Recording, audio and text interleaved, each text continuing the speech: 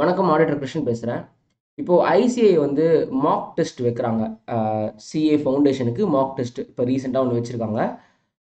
அதில் வந்துட்டு நம்ம நம்ம பசங்களுக்கு அந்த மாக் டெஸ்ட்டை வைக்கும்போது நம்ம பசங்க என்ன ஃபீல் பண்ணாங்க அப்படின்னா எக்கச்சக்க கொஸ்டின்ஸ் வந்து கொஸ்டின்ஸே தப்பாக இருக்குது.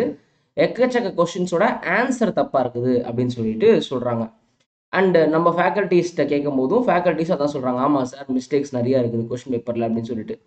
ஸோ ஐசிஏயோட கொஷின் பேப்பரோட இந்த மார்க் டெஸ்ட்டை வச்சுக்கிட்டு ஒரு பசங்களுக்கு மேபி அவங்க ரொம்ப டிஜெக்டடாக ஃபீல் பண்ணாங்க. சே ஃபார் எக்ஸாம்பிள் அவங்களுக்கு வந்து ஒரு ஃபார்ட்டி ஃபைவ் தான் வந்துச்சு. ஆனால் அவங்க ரொம்ப நல்லா எழுதின மாதிரி ஒரு ஃபீல் ஆச்சு அப்படின்னா நீங்கள் வந்து ப்ளஸ் ஃபிஃப்டீன் போட்டுக்கோங்க.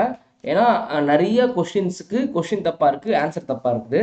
ஸோ ஒரு எக்ஸாம்பிள் நான் சொல்கிறேன் இப்போது ஐசிஐயில் series one for May twenty three release பண்ணாங்க. ஐ திங்க் அதோட வந்து ஏப்ரல் சீரீஸோ ஏப்ரல் சீரீஸ் தான் நினைக்கிறேன். அந்த டெஸ்ட்டுக்கு பேர் ஏப்ரல் டுவெண்ட்டி த்ரீ சீரீஸ்னு நினைக்கிறேன். அது June எக்ஸாமுக்காக first series mock test release பண்ணாங்க. அதில் மேக்ஸை பொறுத்த வரைக்கும் question number two question number ten question number thirty eight question number forty four question number forty five இது அஞ்சு கொஷினும் கொஷினே தப்பாக இருக்குது. ஆன்சரை பொறுத்த வரைக்கும் ஆன்சர் ஷீட்டை பொறுத்த வரைக்கும் அதாவது அந்த கொஷினுக்கு நாலு ஆப்ஷனில் ஒரு ஆப்ஷன் கரெக்டான ஆன்சர் தான்.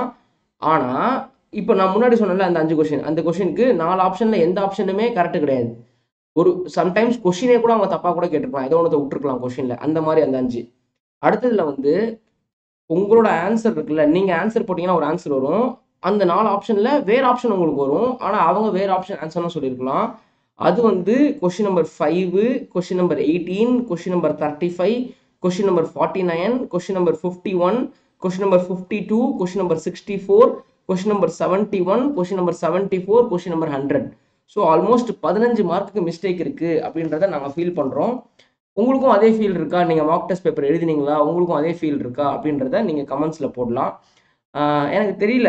ஆனால் பசங்க இந்த பதினஞ்சில் கண்டிப்பாக பத்து தப்பு அதுன்றது ரொம்ப ரொம்ப ஸ்ட்ராங்காக இருக்கும் நாங்கள் ஏன் அவங்க இவ்வளோ தப்பு தப்பாக கொடுக்குறாங்க அப்படின்னு தெரியல.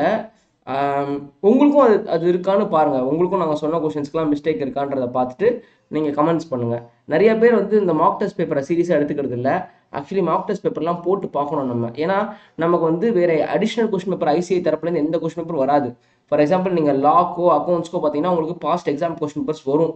ஆனால் இந்த மேக்ஸ்க்கோ எக்கனாமிக்ஸ்க்கோ பொறுத்த வரைக்கும் உங்களுக்கு எக்ஸாம் கொஸ்டின் பேப்பர்ஸ் அஃபிஷியலாக ஐசிஐ ரிலீஸ் பண்ணுறது கிடையாது. அது எம்சிக்யூன்றதுனால ஸோ நம்மகிட்ட அவைலபிளே இந்த மாக் டெஸ்ட் தான். இந்த மாக் டெஸ்ட்லேருந்து உங்களுக்கு நீங்கள் எவ்வளோ மார்க் வாங்குறீங்களோ அதுலேருந்து ஒரு பதினஞ்சுலேருந்து பதினாறு மார்க் குறைச்சிக்கோங்க. இதுதான் உங்களோட மெயின் டெஸ்ட் மார்க் மார்க் டெஸ்ட்லேருந்து பதினஞ்சு மார்க் குறைச்சா உங்களோட மெயின் டெஸ்ட் மார்க் அப்படி பார்த்துக்குங்க. இதான் நான் எப்பவுமே சொல்லுவேன். ஏன்னா மார்க் டெஸ்ட்டில் எப்படி கொடுப்பாங்கன்னா ஃபஸ்ட்டு மேக்ஸு அப்புறம் ஸ்டாட்டு அப்புறம் லாஜிக்கல் ரீசனிங் எப்படி கொடுப்பாங்க. ஆனால் மெயின் டெஸ்ட்டில் அப்படி வராது. ஒரு மேக்ஸு ஒரு லாஜிக்கல் ரீசனிங் ஒரு அது மாதிரி கலந்து அடிப்பாங்க. செட்டு செட்டாக கொடுக்க மாட்டாங்க. எல்லாமே கலந்து இருக்கும் அண்ட் இவ்வளோதான் மேக்ஸ் கேட்கணும் இவ்வளோதான் லாஜிக்கல் ரீசனிங் கேட்கணும் இவ்வளோதான் ஸ்டாட்டிஸ்டிக்ஸ் கேட்கணும்னு கூட கிடையாது. ப்ளஸ் நீங்கள் எவ்வளோ மேக்ஸ் கேட்டிருக்காங்கன்னு எண்ணத்துக்கும் உங்களுக்கு டைம் இருக்காது. ஏன்னா ரெண்டு மணி நேரத்தில் உங்களுக்கு கொஷின் பேப்பர் படிக்கவே டைம் இருக்காது. சம்டைம்ஸ் கொஷினே பெருசு பெருசாக கூட இருக்கும். So more then one minute உங்களுக்கு கொஷின் படிக்கவே எடுத்துக்கும். ஸோ இந்த மாதிரிலாம் வரது வாய்ப்பு இருக்குது. அதனால் எப்பவுமே மார்க் டெஸ்ட் ரொம்ப ஈஸியாக இருக்கும். அதுலேருந்து ஒரு பத் பதினஞ்சு மார்க் கம்மியாகும்னு வச்சுக்கோங்களேன். ஸோ இப்போ மார்க் டெஸ்ட்டில் ஒரு 70 வாங்க ட்ரை பண்ணணும் நீங்கள் அப்போ தான் நீங்கள் மெயின் எக்ஸாமில் ஒரு ஃபிஃப்டி ஃபைவ் டு சிக்ஸ்டியாவது வாங்குவீங்க. அந்த மாதிரி ரேஞ்சில் வச்சுக்கோங்க. ஸோ உங்களுக்கு இந்த மார்க் டெஸ்ட்டில் இந்த ஆன்சர்ஸ்லாம் தப்பாக வந்துச்சா அப்படின்றத கமெண்ட்டில் தெரிவிங்க. தேங்க்யூ